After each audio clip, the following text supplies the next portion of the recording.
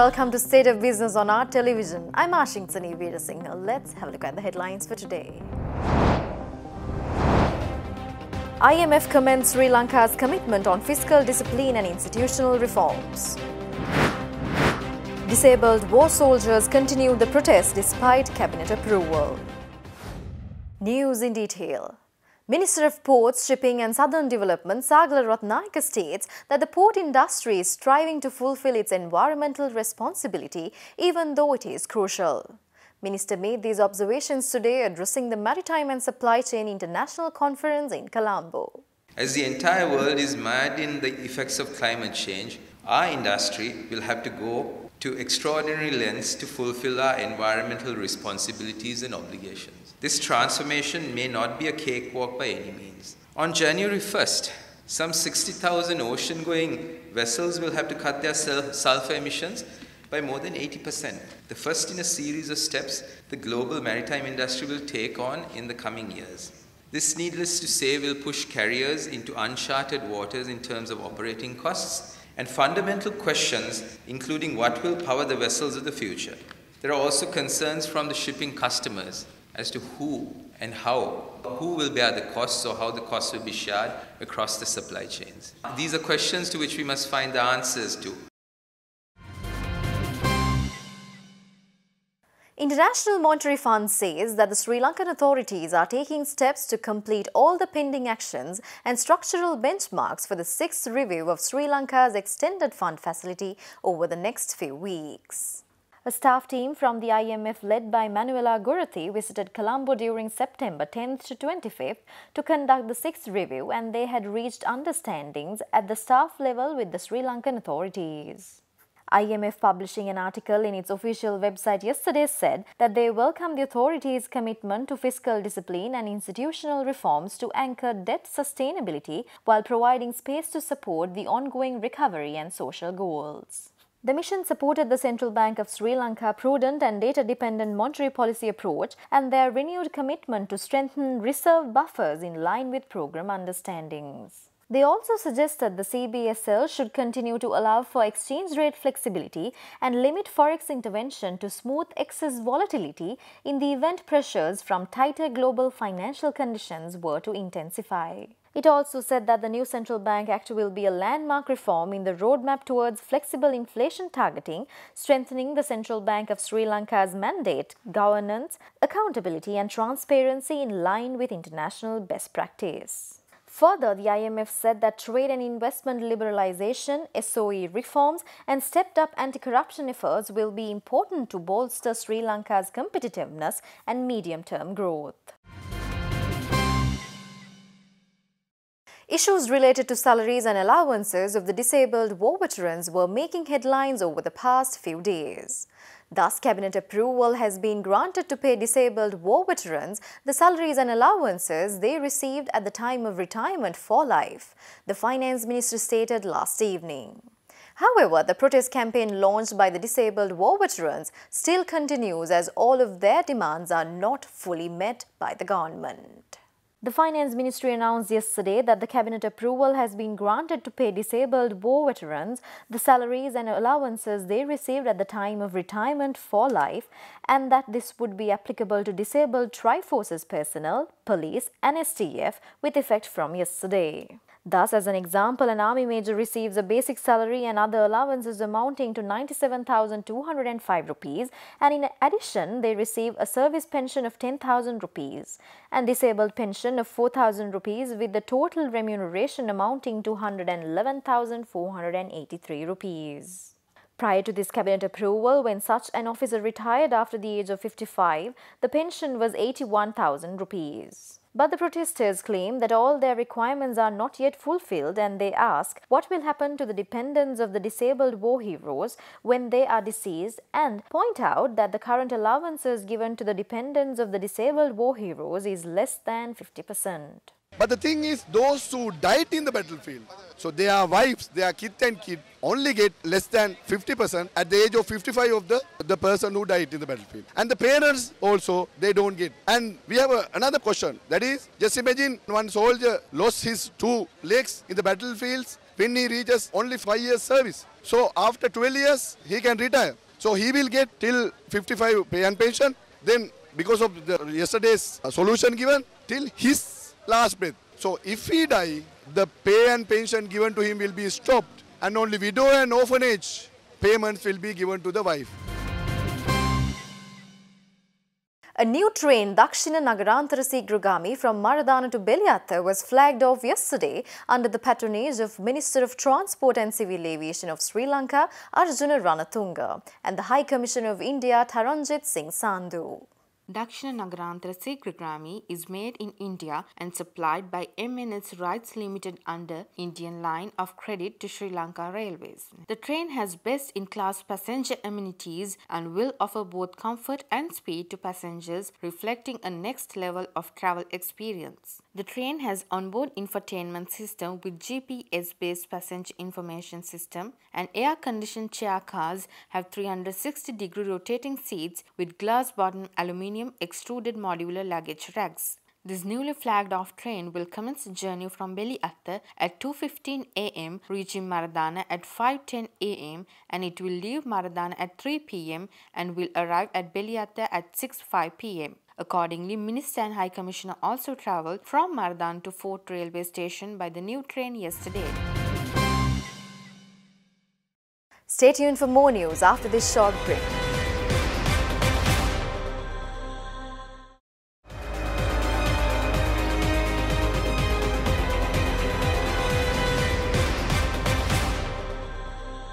Welcome back after the break.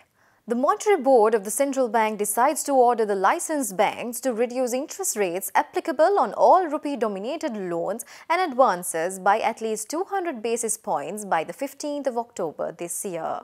Central Bank announced that Sri Lanka's real lending rates are unacceptably high compared to its peer economies and are not consistent either with the low inflation regime experienced by the country over the past 10 years and the expectations of 4 to 6% level of inflation envisaged under the proposed flexible inflation targeting framework. The Monetary Board of the Central Bank decided to order the licensed banks under subsection 1b of section 104 of the Monetary Law Act to reduce interest rates applicable on all rupee denominated loans and advances by at least 200 basis points by the 15th of October in comparison to the interest rates applicable as at the 30th of April this year subject to certain exclusions with effect from the 1st of November 2019, in the case of credit card advances, the maximum interest rate applicable will be 28% per annum, while in the case of pre-arranged temporary overdrafts, the maximum interest rates applicable will be 24% per annum. Penal interest rates added to loans and advances have been capped at 400 basis points per annum for the amount in excess of an approved limit or in arrears during the overdue period with effect from the 15th of October. Accordingly, each LCB is also expected to reduce its average weight prime lending rate by 250 basis points by the 27th December compared to its AWPR as published by the central bank as at the 26th of April. The central bank will continue to closely monitor the movements in market lending rates to ensure a more effective transmission of monetary policy through the financial system. Premier consumer products retailer Singer was officially announced as the commercial distributor for Dell Technologies at a launch which held last week in Colombo.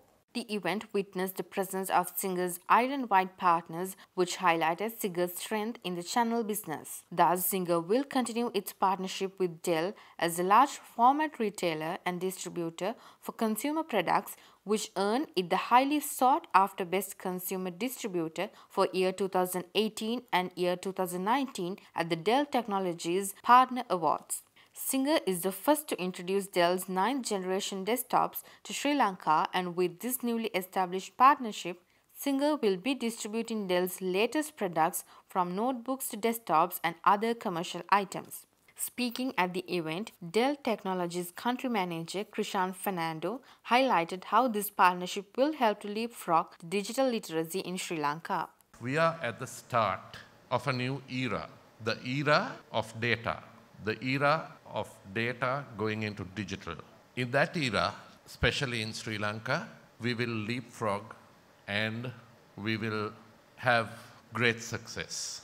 Dell, both in my office, the Dell Sri Lanka office, as well as our region, looks as the Sri Lankan market as one of the key markets in South Asia, and we are really getting ready for all the success that is to come. Let Singer win, let Dell win, and let you, our partners, win, but not at the expense of our customer. Singer, as well as Dell, we are more than committed to make sure that while our three parties win together, our customer wins with good service and professional handling of that customer needs. Western Province continued to account for the largest share as per the provincial gross domestic product estimated by the Statistics Department of the Central Bank of Sri Lanka for 2018. Central and Northwestern provinces were the second and the third highest contributors for the PGDP respectively. Central Bank today announced that the highest increase in PGDP share on year-on-year -year basis was reported in Western Province. The only other province that reported an increase was the North Central Province, while the shares of Central, Sabaragamuwa and Uva provinces decreased in 2018.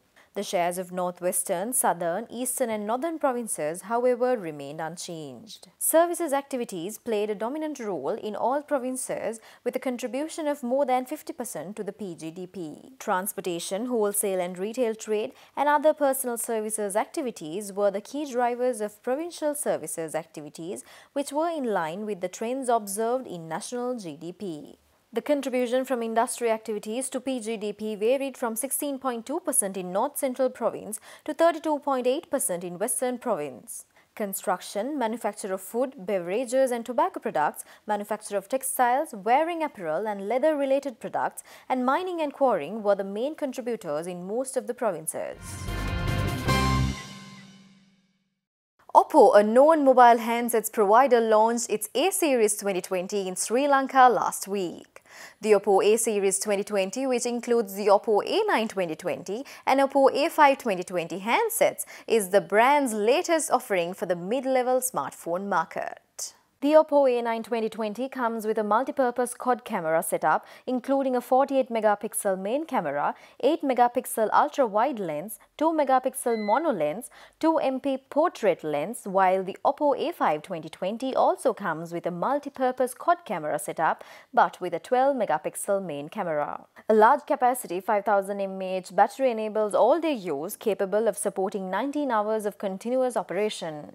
The battery is also able to handle reverse charging, freeing active on-the-go users from the worries of rapid battery drain. The Oppo A9 is available in marine green or space purple priced at 59,990 rupees, while the Oppo A5 is available in mirror black or dazzling white priced at 44,990 rupees.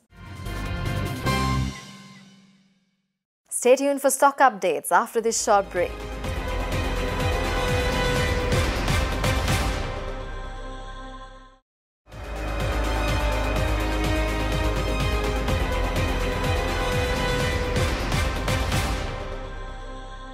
Welcome back after the break. Trading at Colombo Stock Exchange ended on a mixed note today.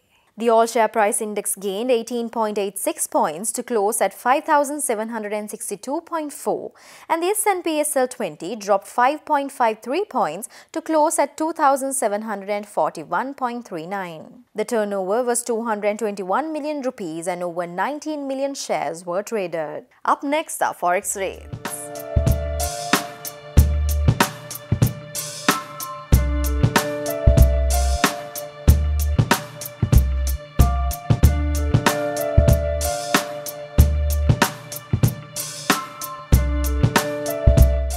That's all the news for today. Join us tomorrow at the same time. Until then, take care. Good night.